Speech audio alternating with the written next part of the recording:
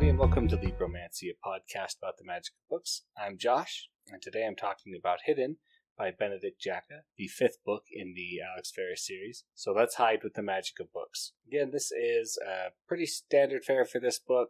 They are fun, they're exciting. I, this one I feel like is the start. Well, I've said that on the last one too, that the last one's kind of like now we can see where things are starting to go and I feel like this is definitely a slow burn continuation of this. That like we see some more pieces fall into place, and now we just need to see where those pieces are going to land. So again, I like this book. I think in a, some non spoilery stuff, like the characters in this book are phenomenal. Not all of them, but the ones that we know and love. We're seeing new sides to them. We're seeing reasons behind why they do things certain ways. We're seeing more character growth and changing that's always a good thing. The atmosphere of the book, this one, it's not, you don't really get that feeling of like a lived in place because non spoiler way, most of the book takes place kind of in a non lived in place. So it just kind of makes sense that that's how it would go. I feel like though his writing has continued to steadily improve, you know, bit by bit. We're seeing more things, we're seeing more ways that he is challenging his characters. I've never felt like there's a backslide. His prose remains easy and accessible, at the same time being there and serving a purpose.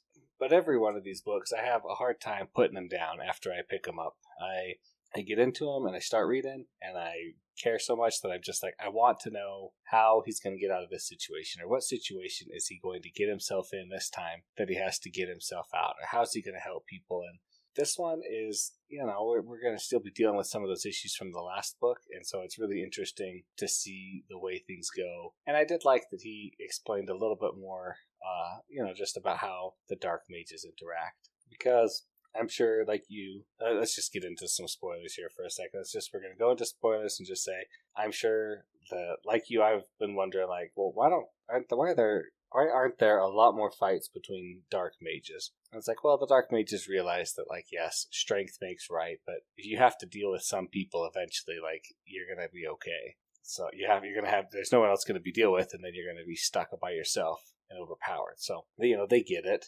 And I like that Alex's knowledge of how black mages or dark mages operate really came into play and he's like this is what i need to do this is how i can figure this out and fix this so let's talk about the plot a little bit the plot of this story is that uh, anne gets annie gets kidnapped again uh, you know from before like before in her past. Just somebody sneaks into her apartment grabs her and gates out. Nobody knows where or how. She's been running a clinic out of her apartment since she uh, left alex. Doesn't want to talk with him, still is very, very, no, you're bad, you're evil, I want nothing to do with you.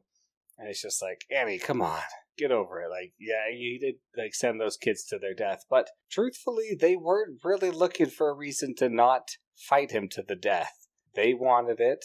They were there. It's an Alex or a it's an Alex or the Night Stalkers. You know, from the last book. What did you want him to do? You want him to be better? Well, I mean, being better's tough. I mean, how do you figure out a way out of that situation? I think she's got, obviously, she has a, a wrong view of the light mages, or maybe we have a wrong view of the light mages because we only ever see it from Alex's perspective.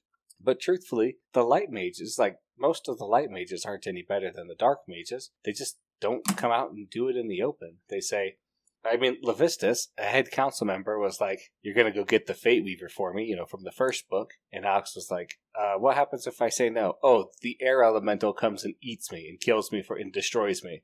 Yes, of course I'll do it. Like, there's no the light mages are not any better than the dark mages. They're just better at hiding it and being more political with it. So let's just talk about Annie though, because she is such a great character. We to learn about what she went through, that she was forced to to kill people in an arena, person by person, until she was very good at it, until she could to survive. And then that's before she was able to break free with Variam. And that's why she doesn't want to become that person. She knows that she's like, I was slipping. You know, eventually I just, I wouldn't care. And she's like, I don't want to be that person. I wanted to be better like you. And he's like, You think I'm better? Like, I'm just trying to survive. I just don't want to die. That's why the Night Stalkers, you know, had to get taken care of because they wouldn't stop coming after me. You know, I was trying to do my best. And he's like, Yeah, but you should have been better. And it's like, Yeah, should have. coulda, woulda, I wish I could, right? And I love that Annie's just like, she's so afraid of not her power, but of being a bad person.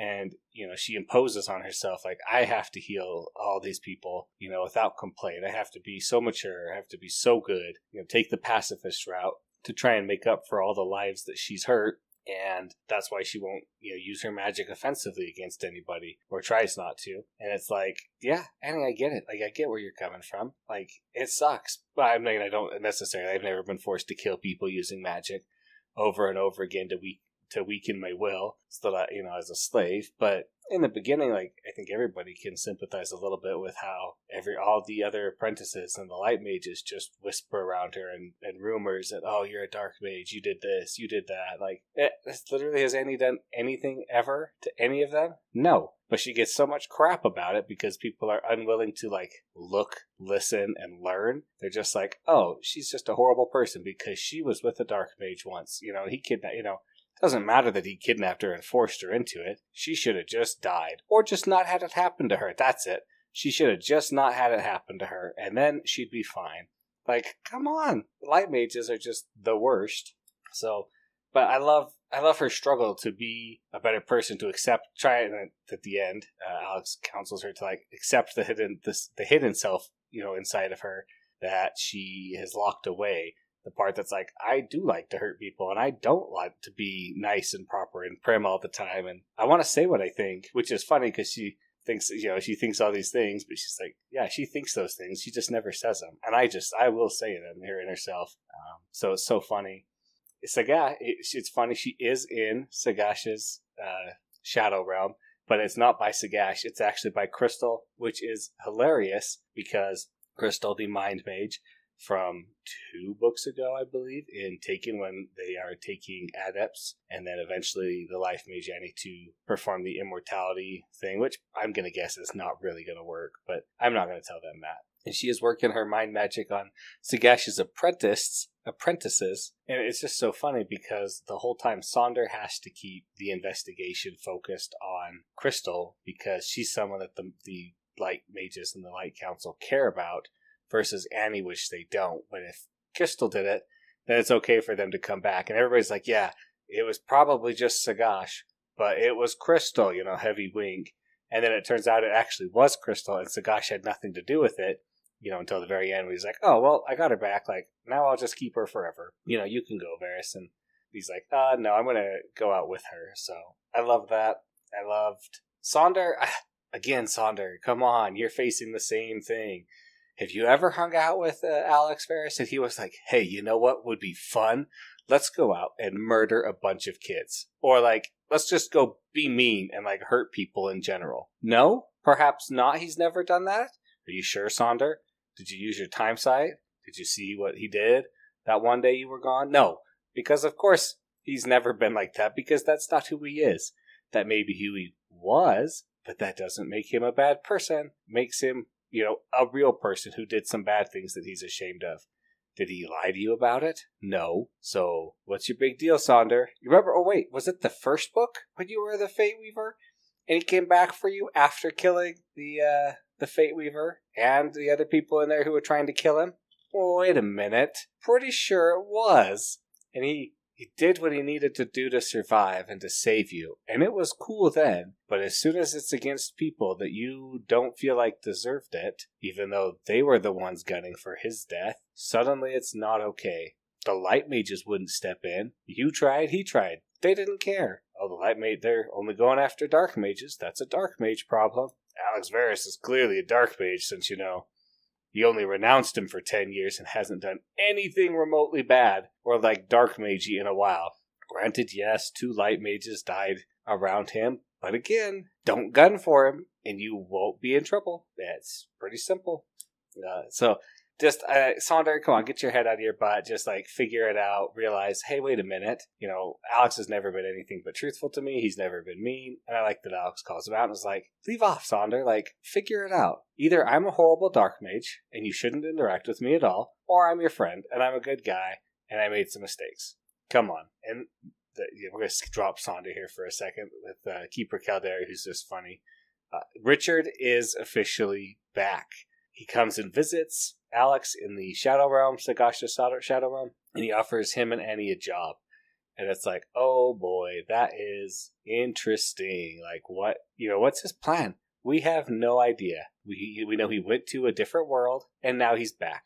We have no idea. I mean, Alex didn't even know what he was up to when he was working for him, really. He knew just bits and pieces. So, like, I am so interested to see where the end of Richard is. Like, is Richard gonna just destroy the designation of light mages and good mages, like mages and dark mages, and just kind of be like, they're just everybody's just a mage. Either you do good or you do what you want. Is like, I don't know. I just don't know because I haven't. I've read, I think, one or two more books after this, and I don't remember anything that happens eh, past that because I haven't read it, obviously, and I barely remember what happens in the next two. So, like, Richard's back, and Alex is terrified of him you know, rightly for good reason. Although we never ever see like we see him like stop Alex from interfering with his plans and locking him up, but like we actually don't really ever see him do bad things. We see him let bad things happen by inaction or by not stopping things, right? The whole Catherine thing and killing her, you know, draining her life for the teleportation spell is bad. You're right.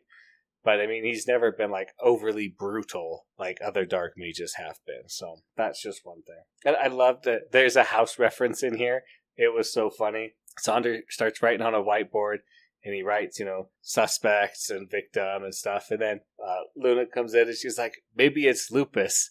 And Variam's like, no, it's never lupus. And uh, that was so funny. It was a little light crack, like you blink and you miss it, but it was pretty, it was good there. And I love uh, the blink fox that he that he rescues is just like, hey, okay, blink once for yes and twice for no, and it blinks twice. But he's like, wait a minute, I just asked you a different question. Like you you do know that. And the fox gives him that fox look, like, haha, I'm a fox. I'm gonna do whatever I want. Like you can't control me. And then the fox comes and lives with him at the end, and he's like, what the heck, fox? I thought you were gonna go like do what you wanted, you know, because it's a it's like a human level intelligent fox, right? And the fox is just like, nah, nah and then it like teleports to the door and is like, "Hey, open this up and give me some food." And it's like, "No, like go somewhere else." So the fox is like, "Come on, come on, look at the food. See the food over there? Like, there's food in the fridge. I know it. Like, I want it." Just so funny. Uh, so I'm excited. I I'm really excited for where this series is going. I really have no idea what's going to happen in the end. I'm excited to watch Alex and Annie, which I like that they're starting to get together a little bit. Annie is like, "Hey, can I get your help setting up some wards? Can I maybe stop by? Like they're talking again. She's like, okay, you know, you weren't the worst person in the world. You did some bad stuff. I've done some bad stuff. Maybe we together we can work our way past it. So I like that. I'm so excited for you know everything about it. But I think that's going to be it. That's going to wrap up my discussion for Hidden, the fifth book in the in the Alex Verus series by Benedict Jacka. So thanks everybody for listening. Thanks to David Hilowitz for the intro and outro music. You know, please like and subscribe wherever you get your podcast from. And remember to hide with the magic of books.